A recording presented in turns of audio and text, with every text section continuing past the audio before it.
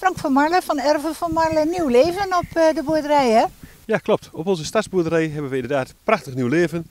Het begon dit jaar met jonge meerkoetjes. Toen kwamen de waterhoentjes erachteraan en tegelijkertijd begon ook het lammenseizoen. We hebben inmiddels bijna 50 lammetjes. En daarop volgden 11 mooie biggen die hierachter te zien zijn.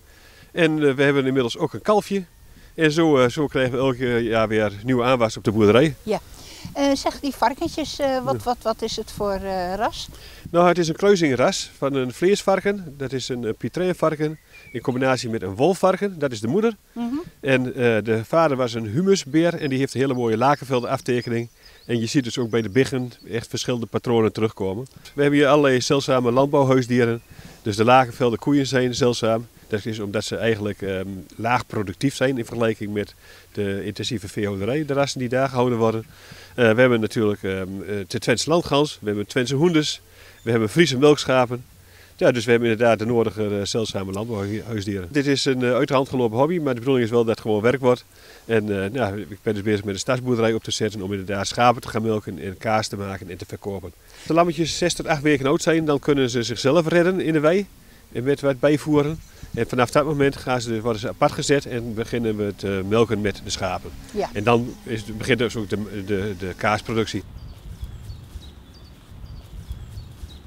We hebben één lagervelde koe en nog wat kalfjes. En dat kalf dat drinkt de melk op bij de koe. We hebben een aandeelhoudersformule. Hmm. En dat betekent dat klanten een deel van het dier kunnen afnemen. Hmm. Die zijn dus meer de eigenaar van het dier. En daar krijgen ze elk najaar krijgen ze dus een scharrelvleespakket. En dat kan zowel voor de lagervelde koe als voor de biggen als voor de lammeren. Kijk, Daarmee hou je ook zeldzame landbouwhuisdieren in stand. Want ja. die moesten wel gebruiken. Wat je hier nou doet, hè, is dat ook op grotere schaal mogelijk? Jazeker. Kijk, ik doe het heel kleinschalig. Hè. We zitten hier in de stad inmiddels. Vroeger aan de rand van de stad, maar inmiddels in de stad.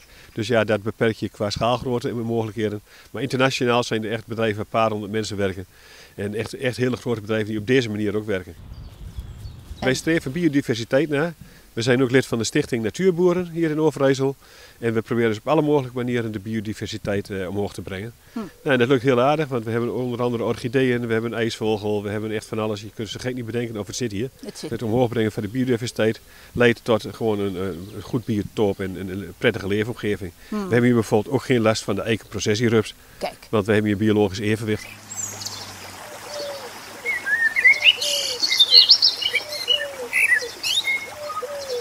We hebben ook nog een bloemenpluktuin.